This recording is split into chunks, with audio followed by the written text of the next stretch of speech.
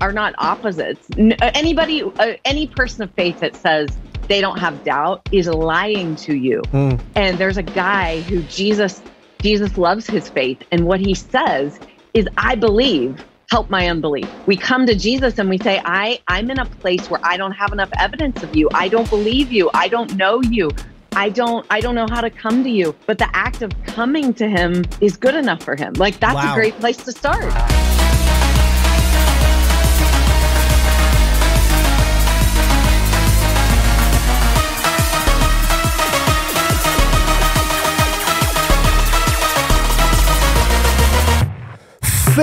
Faith aficionados! Welcome to the only faith based show in the entire universe where we go from blasphemous to divine every single episode. Today's guest is pastor in Cincinnati, Ohio, Alli Patterson. Her recent book, How to Stay Standing, explores profound and accessible truths from Scripture to help us build a strong and real faith. So, what does that even mean? We're about to find out.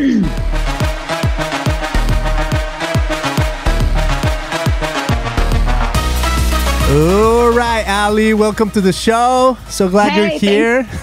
Thank you for having me. This is so fun. Thank you for having me on. All right, how you feeling today? I'm feeling really good actually. What about you? I'm doing What, great. what emoji would you pick for yourself today? Oh wow! Hey, you're trying to turn this on me now. That's the first. I think I'm on holy emoji today. Okay. I'm on holy okay. emoji. But I love that you're asking that question because right now, precisely, we are going to the beliefometer to kick us off with this episode. So let's go to the beliefometer and see. We're starting inspired today. So good. All right, so you're inspired. I'm holy. I think we're on, you know, we're up for some like good talk about faith. And I would love for you to tell me a little bit about like what's this inspiring idea behind, you know, how you're feeling today. Yeah. Okay. So the core of this idea that I am wrestling with over and over, and I talk about it in the book too, and it's just really heavy on me again today, is that a life of real faith is always a life of risk. Hmm. Wow, I love that. Always a life of risk. Wow. Yes. So I guess I want to start right here. So if we have um faith, I mean I love the idea that that you said we're exploring authentic or real faith and I think if we're kind of like mixing in risk, what is how do you get there? Like what's what's a fake faith in other words? Is, Yeah. is that exist? I mean, can you have a Yeah, faith oh. fake a, a fake I- faith? I think you can. I absolutely think you can. As a matter of fact, I think this is what other people see as the as Christians. I think too many Christians are living what I would define as a fake faith instead of a real living one. If I were to define a fake faith, I think I would say something like trying to do the right things on the outside but not actually having a heart that truly wants to obey God from the inside of your life out. Hmm. Like willing to go through like pain and cost to do that. And so that I think that's why a lot of people in our culture will look at people living a quote unquote Christian life or or saying that they have a Christian faith when in fact it looks like maybe you're just trying to be good or be better than the guy next to you. And to me that's a that's a fake faith. A real faith comes from a willingness to take a risk on a living God. And so Hmm. that's really the idea that I wrestle with over and over and over again because I challenge myself and of course anybody else that I talk to about faith I challenge them like when's the last time that you actually took a risk on God? Like Hmm. you went, okay, God, I think this is you, or I think this is what your word says, or I think this is what you're like. And I'm willing to put something real on the line in my real life as a result of that. That's a real faith to me. Wow. Okay. Yeah. There. I mean, there's a lot to that already because. Yeah. I mean, one, it's almost like you gotta acknowledge that there is a God who's kind of like nudging you into into taking action, right? But I love also the the concept that you're saying that sometimes, and and this would be a good question because the other day I was like these two two um, friends invited me to their show, and they were in their in their teens. One was 18 the other one i can't remember how old but along the same you know, maybe 19 or something like that. And i'm like sure i'll go on your show. We'll talk about faith. We'll talk about christianity. And it was so so so so uh, such a good conversation because uh, one of them claims claimed to be agnostic and the other one is like i just want to learn and i just want to uh, you know grow and learn from people that know. But I was asking him, but for what purpose? Like, what what's the meaning be- behind learning? Right? You'll get to be forty years old with a bunch of information in your head, and right. why does that matter? Right? So I love that you're saying that there's a there's a connection even between not just wanting to do what's good but there's something more to that and and i think these these two boys were having trouble or young men were having trouble with that idea mm-hmm. because because uh, for them or for a lot of people, right? To me, they represent a lot of people in an entire generation. Trying to do good seems enough, right? So mm-hmm. if I'm a good person, why do I need to follow a religion, right? Or why do mm. I need to mm. follow Christianity? I'm already a good person. Would you have you encountered yeah. people who say like somewhere oh, along sure. those lines? Sure, absolutely, all the time, and and you know, I think the sooner we have personal evidence that we're not that good of a person, the better. Mm. Like, because if that's what you're counting on, oh, my friend, do you not already have evidence that you are not that good? You are not that nice. That, that, you know, in your darkest moment, in your heart of hearts, come on, like, let's let's call a spade a spade here. You're not as nice as you say you are. And the sooner we can come to that realization, the sooner we get to the the like kind of head scratcher of okay, now what? Mm-hmm. Now what? And so I, w- I would say yes to your young friend who wanted like wanted to seek wisdom, but if if you're willing to experiment with what the Bible says is how you gain wisdom, then you would actually start taking risks you would take risks to find out. You wouldn't mm. just learn. You would go, What am I learning? And that would push you into an experiment of action to find out is that word true? Is that what happens? Is that the kind of God I meet? Is that kind of word what's going to happen in my life if I do that thing? Christianity invites us to to come and see. Mm. And that's why I love talking. I lo- I, I'm a learner. Mm. I, am all for like I am borderline geeky in my heart of hearts. I love I love good bullet points. I love to to you know deepen my knowledge about something, but true understanding, true wisdom for life comes from actually testing and experimenting and practicing your way into either believing God or not believing him. And um, that's why I love that's why I love talking about um, you know how the Bible invites us to discover what real faith is because it always leads to these small or sometimes large experiments to see well is wow. that word true? Is that God real and so that that kind wow. of experiment is exactly what I would tell people to start doing and fi- find out find out where don't don't take some, you know, some teaching pastor's word for it. Go and see. There's a reason why I gave my whole life to what I do, and it isn't because I read some book.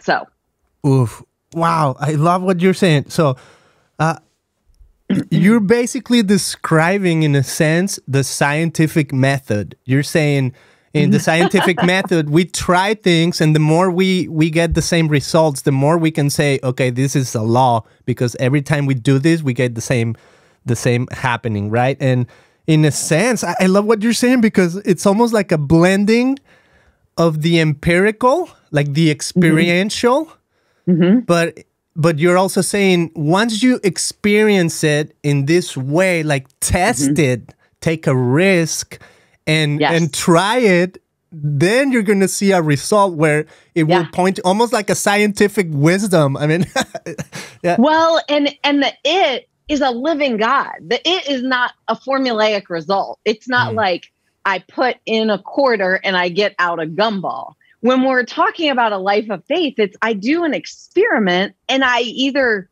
know and see God a little bit more and I I know and see and understand there is a God and he's for me and he's good and I can trust him or not when Mm-hmm. when I encounter doubts in my own faith, I kind of thrust those on God, and I and I'm like, hey, you, I I need you to come to me in this space because I'm struggling with doubt. Faith and doubt are not are not opposites. Uh, anybody, uh, any person of faith that says they don't have doubt is lying to you. Mm. But those things are not. I, I'm not afraid of those doubts. They're places where I come to Jesus and I say, I need more of you in this space. I need you to meet me here because I'm struggling. There's a prayer in the New Testament that I love, and I pray this a lot. And there's a guy who Jesus Jesus loves his faith, and what he says is, "I believe, help my unbelief. Mm. I believe, help my unbelief." We're all a mix of those things, and so we we come to Jesus and we say, "I I'm in a place where I don't have enough evidence of you. I don't believe you. I don't know you. I don't I don't know how to come to you."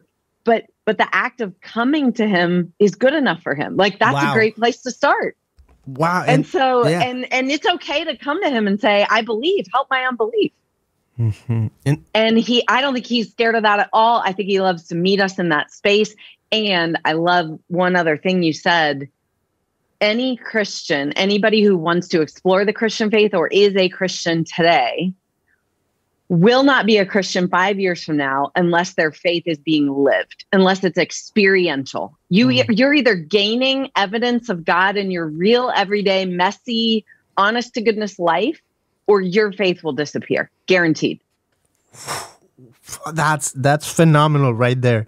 That's a nugget of truth, and it's impacting me so much. I love what you're saying, and I love how you're saying faith and doubt don't necessarily are not necessarily opposites. And what a better way to to mention this guy who comes to Jesus and says, "I believe, help my unbelief." That's Yes. that's like a contradiction, right? That doesn't Right. make sense. But Jesus accepts that and says, Yes. "Hey, there's something in that," right? So, Yes. what is that for What- people? what? What amazing honesty.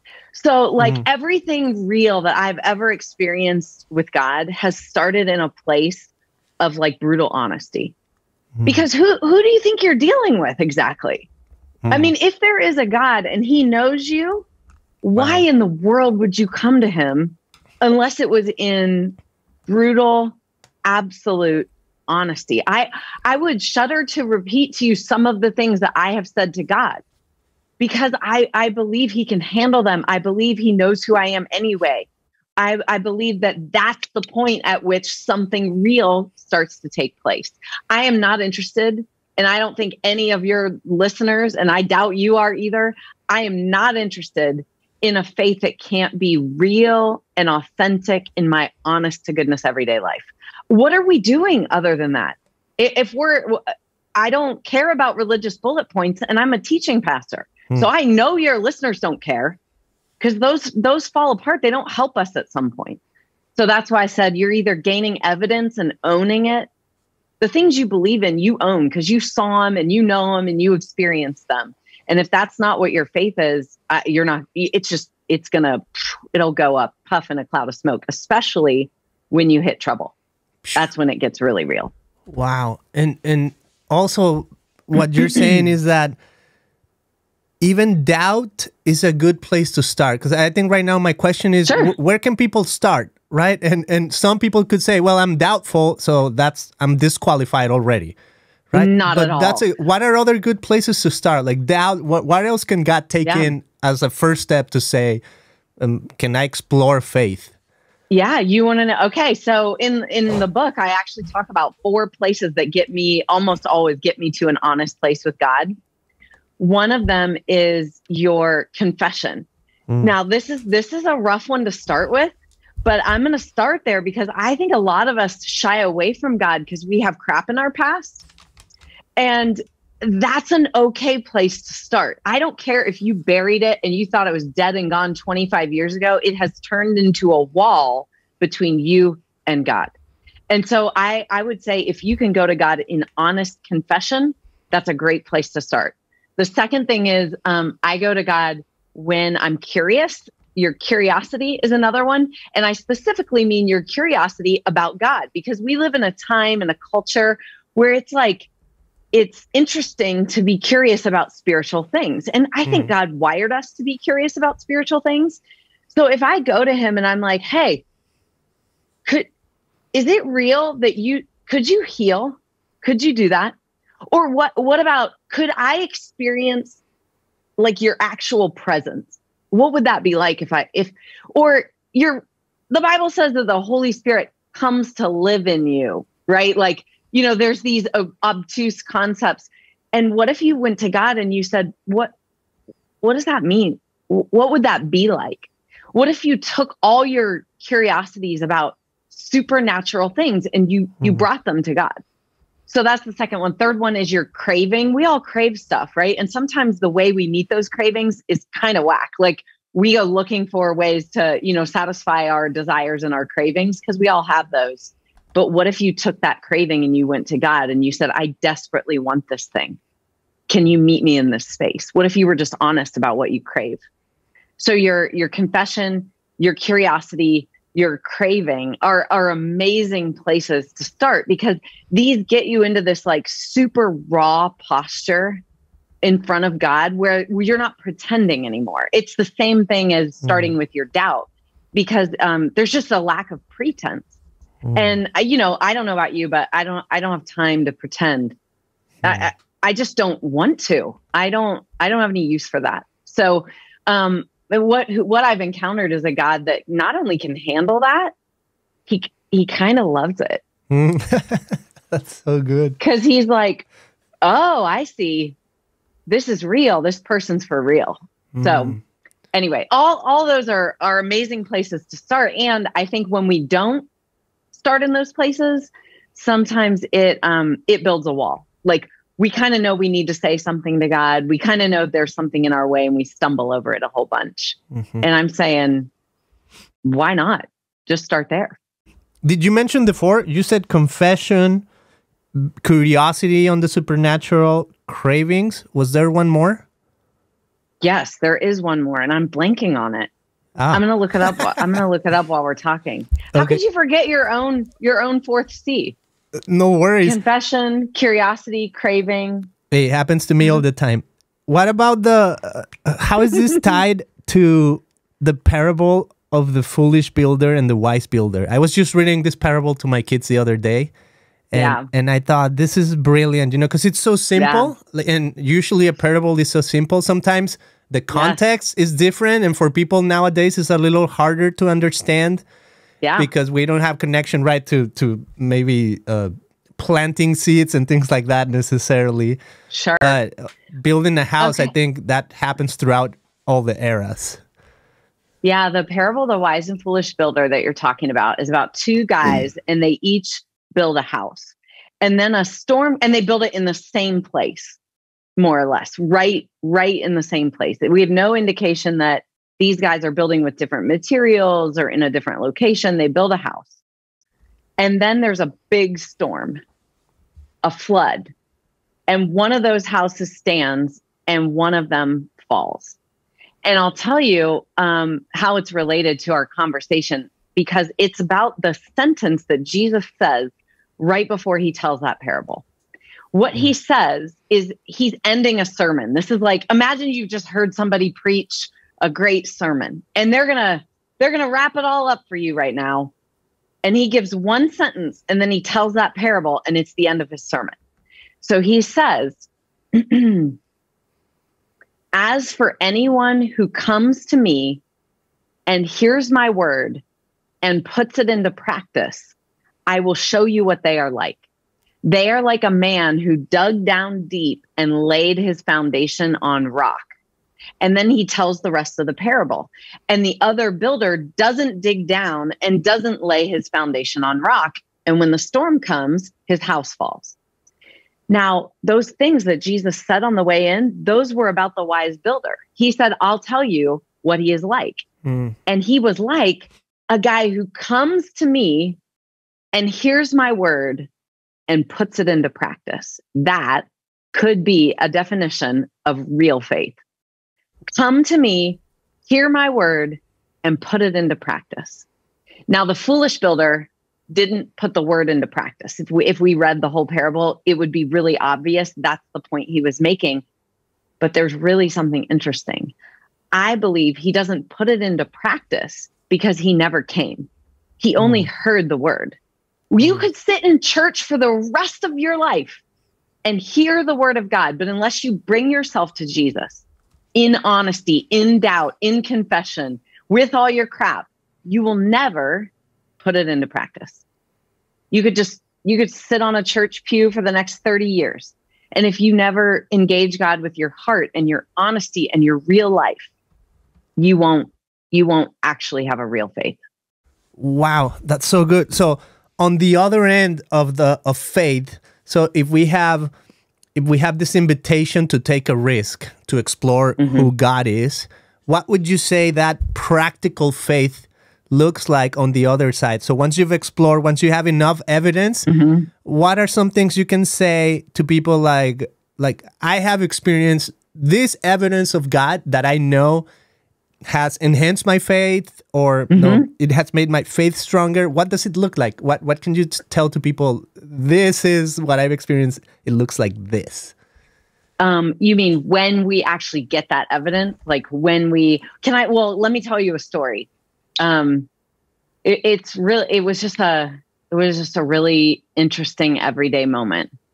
I pulled up to a stoplight and i was going to work. I pulled up to a stoplight and there was a woman who who shuffled in front of me. Um, and i say shuffle because i noticed how she was walking. She crossed the crosswalk in front of me. And i looked down at her feet because she was walking so weird.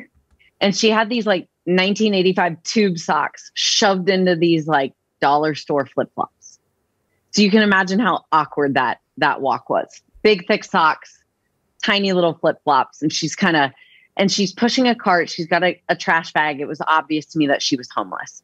And so she crosses in front of me and, and the light turns green. And I was almost right across from my parking lot. So I pull into the parking lot and I hear what I think is the voice of God, the Holy hmm. Spirit. Mm. And what I hear is give her your shoes. Wow. And I look over, and that day, which I would not normally do, I had my running shoes with me because I was going to take a run at lunchtime. And they're sitting right on the front seat. And I I hear this like this, I don't know, this sudden thought. That's what I mean by hearing. Mm, I have this intrusive thought that I should give her my shoes. And so what do I say? But no thanks. I'm like, eh, kind of want to take a run. So I start pulling into my parking lot and I was like, I, I couldn't. I felt this sudden like resistance to me parking the car. So I start talking to God and I say, Is this you? You really want me to give her my shoes? Is that crazy? Am I crazy? Is this your voice? Because mm. if it's not, that's kind of an expensive pair of running shoes. I don't really want to give them away. And I couldn't park the car. So I say to God, okay, fine. And I'm literally talking to him out loud. Okay, fine. if I drive around the building and she's there, I'll give her my shoes. So right here we have a risk, right? Mm. I've got to believe it's the voice of God. I've got to believe that that lines up with his character. I've got to believe mm. that that that he's go that he's the one behind this idea. If I don't believe that, I'm just going to park the car and go inside. So that's risk number 1. I drive around the building and I say to him, again, I thrust it on God and I'm like, "You give me access to her again, I'll give the shoes away." So I drive around this big building and wouldn't you know it, she's right in front of me. Wow. right in front of me in the back of the parking lot. And so I pull over and I say to God, okay, I think this is you. There goes my shoes. That's right. I'm doing this. So I roll down the window and I awkwardly, I mean, how do you offer someone your shoes? But here's risk number two. Am I actually going to do it? This is awkward. This is not easy. I first of all, I don't really want to give them away. Second of all, you know, I wish I had a heart where I could say, and I immediately, you know, put them out the window happily. Instead, I'm like, eh, I don't really want to do this, God. Is this you? This is awkward. I don't know. So I roll down the window, risk number two. I open my mouth and I say, Excuse me, I have something for you. And she comes over to the car and she doesn't even say anything. And I said, I can't help but see your flip flops and I have a pair of shoes here and I'd like to give them to you.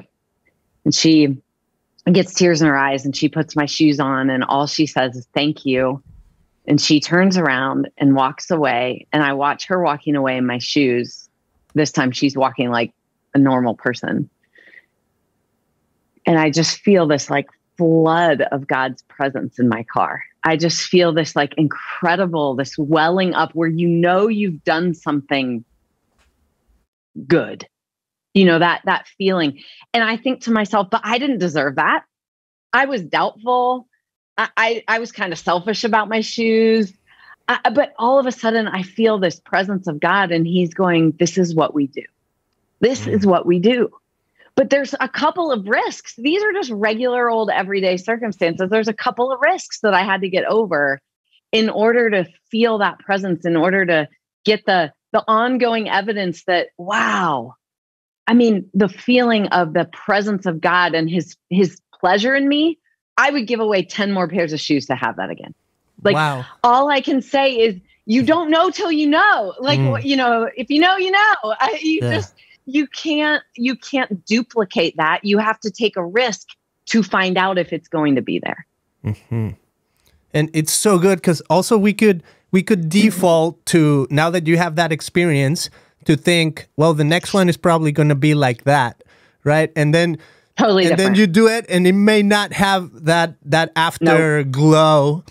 of the experience because god may not be totally. nudging you the same way every time right and 100%. Sometimes the only the only evidence you have that you did the right thing is that that's what the word of God says.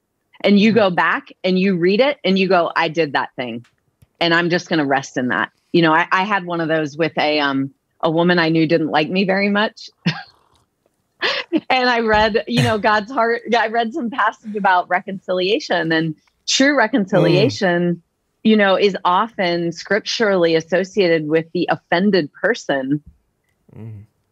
coming forward to the the one who's offended. And I, I didn't like this woman, and she didn't like me very much. And you know, I read the part where you know Jesus says to leave your gift at the altar and go mm. and be reconciled to your brother if you know that somebody has something against you or you know so i'm reading all this stuff about reconciliation and uh, that's all i had I certainly didn't want to call her up and meet her for coffee. I didn't even like her. And afterwards, I thought, okay, so we're still never going to be best friends, but I have to I have to content myself with the fact that that I read that word, I knew that that's God's word and I went and tried to do that thing. Mm. And wow. I don't have a new best friend out of it. yeah.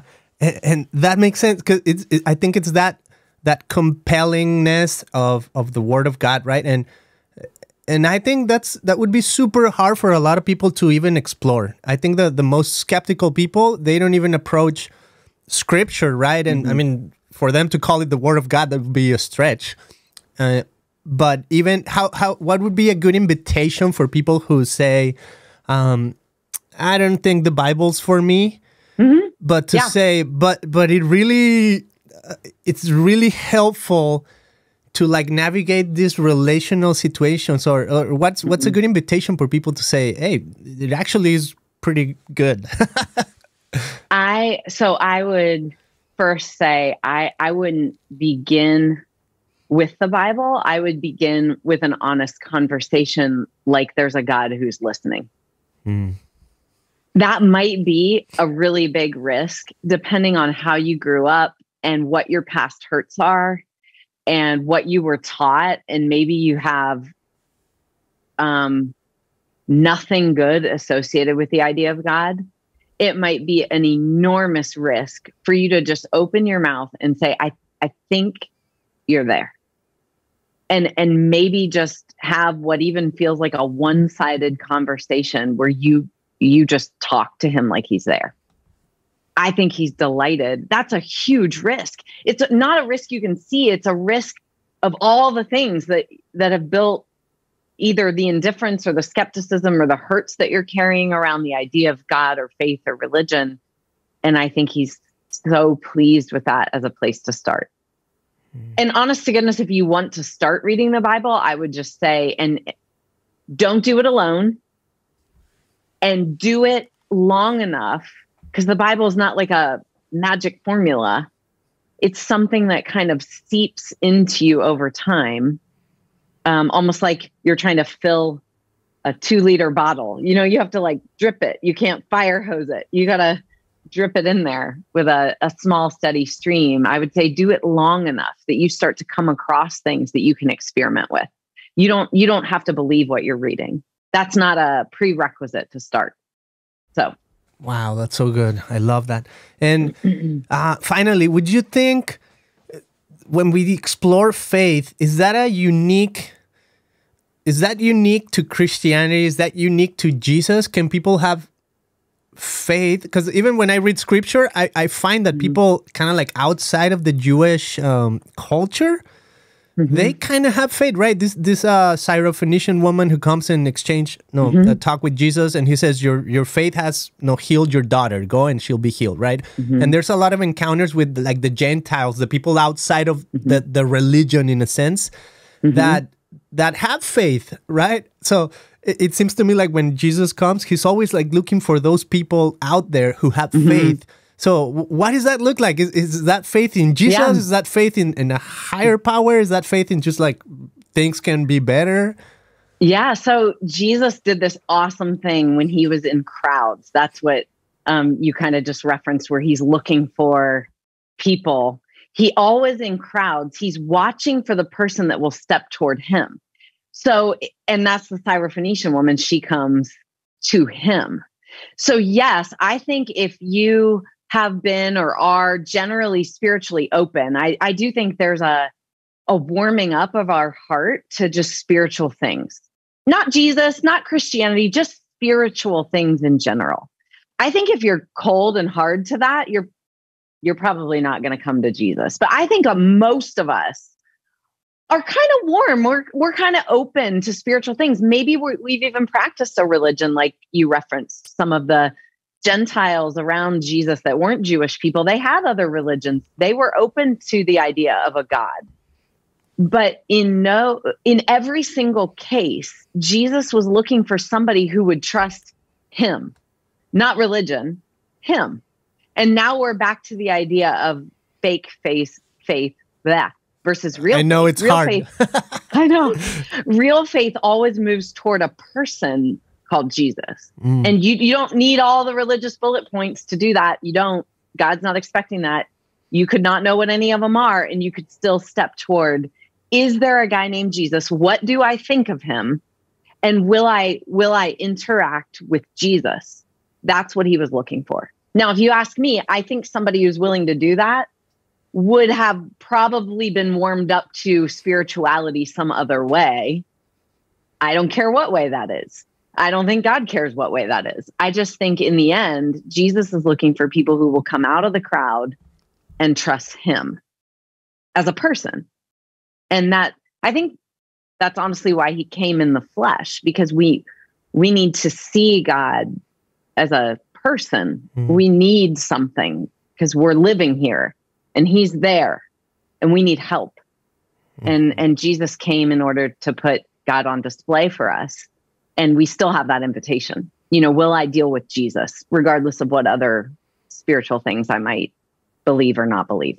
Mm-hmm. wow. So it does seem like like faith is uniquely attached to jesus like to his and how we respond to his promptings right in a sense. So mm-hmm. wow I love that. And I, and I would say there's lots of religion and lots of spirituality. And the Bible, by the way, never denies that we're living in an environment where there are spiritual powers at mm-hmm. work.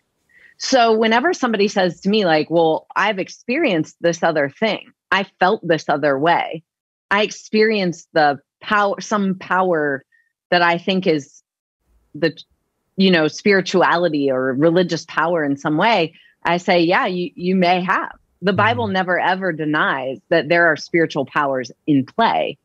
It it just puts forward the idea that they are actually all under the authority and control of Jesus at the end of the day, that he is mm. the God of gods, the Lord of lords, the one with all the authority and power at the end of the day. That's so good. All right. So, this is what we're going to do next.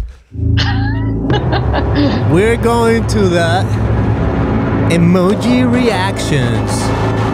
And we're going to start off with blasphemous emoji.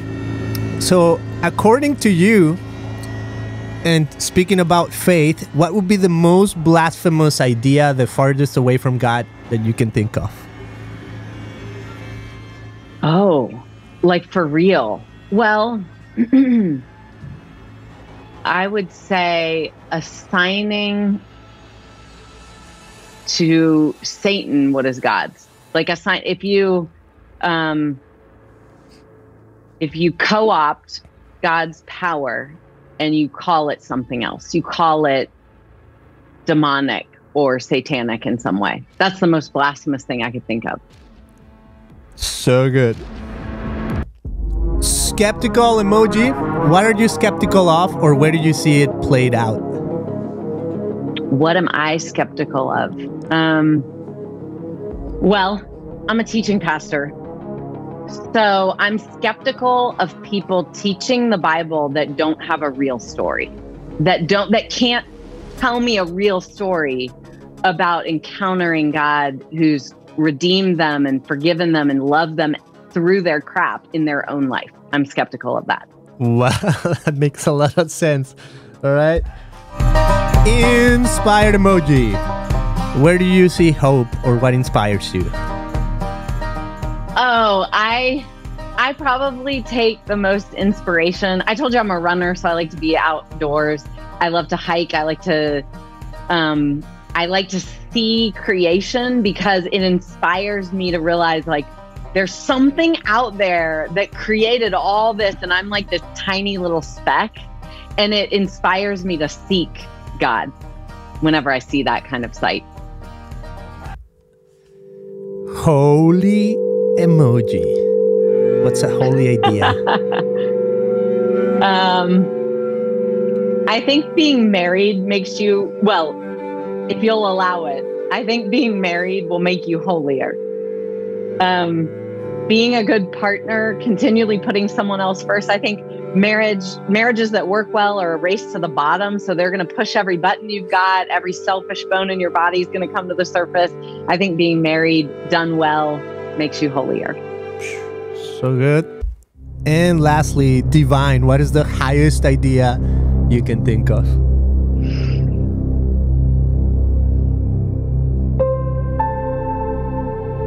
At the end of the day, there's a God and He's good. He's good. He's for you. He he is wildly, radically on your side. And I, I just I want so badly not just the presence of God, but the goodness of God to be put on display because there is no one else who is as as wildly in favor of your your life and your love and your um and your contentment as he is.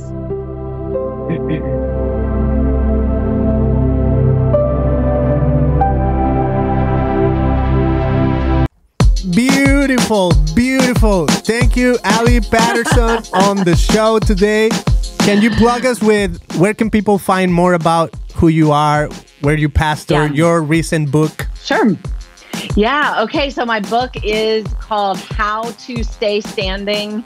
It pulls apart some of the things that we talked about today, looks at a real life of faith, right at the heart of that parable, the wise and foolish builder, how to stay standing. You can get it anywhere books are sold. And you can find me on, on Instagram, Facebook, and online on my website. It's all the same, the Alli Patterson. It's just you got to know how to spell Alli A L L I, the Alli Patterson. So, and that's Instagram, Facebook, and my website. I would love to meet you. I'd love to interact with you. I hope we can. And this was so fun. I love it. Well, thank you, Alli, for being on the show. My friends, you know you can check us out at ChristianPodcast.com. And Alli, I think the reason why um, you forgot the fourth, the fourth thing I about faith. You looked it up. Now you know it. I it. did. I do. Okay, we're gonna save it for our next episode. Sometimes. How about that? We'll take a rain check. Okay. Okay. okay, We'll to leave people wanting. Yeah. Okay, awesome. Thank you so much for being on the show. Thank you.